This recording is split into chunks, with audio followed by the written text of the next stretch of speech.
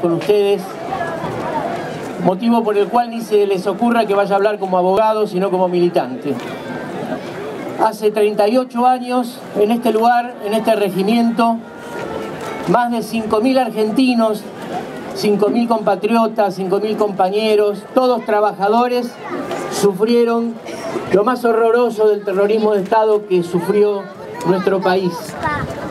sufrieron las consecuencias de un genocidio que fue la época más sangrienta que vivió la historia entera de nuestro país. Estar hoy acá con ustedes, viéndolo a Cacho Scarpati allí, que hizo tanto por saber lo que pasó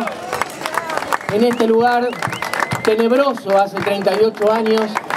estar con la figura del Che ahí levantada, con la de Vita, Tupac Amaru y la de todos los compañeros que en la memoria de nosotros hoy están presentes acá.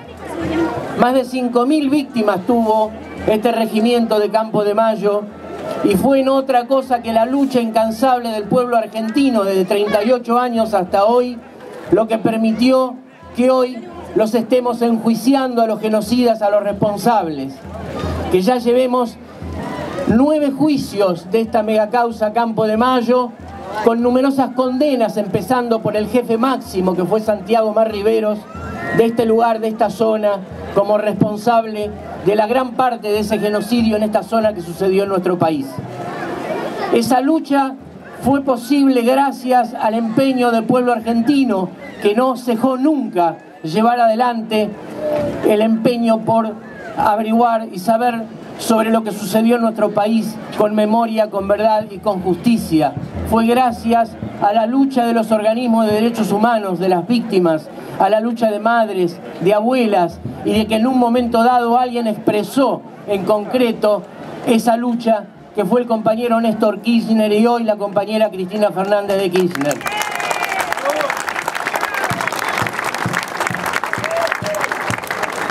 Los juicios que hoy están siendo motivo de alegría de todo nuestro pueblo, y no solamente de nuestro pueblo, sino que es orgullo de la Argentina a nivel internacional, porque allí donde vamos nos recuerdan y nos hacen saber que lo que estamos haciendo hoy en nuestro país, gracias a la lucha de nuestro pueblo, es un ejemplo en el mundo. No hay otro lugar en donde se esté haciendo algo parecido por el propio pueblo que ha sufrido el genocidio, con sus propios jueces y con las propias leyes que rigen en el país.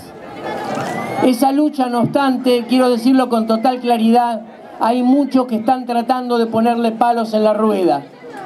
Estamos próximos al décimo juicio de esta megacausa Campo de Mayo,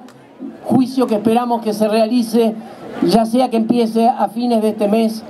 o en el mes de abril próximo. Hay muchos que están intentando frenar este proceso.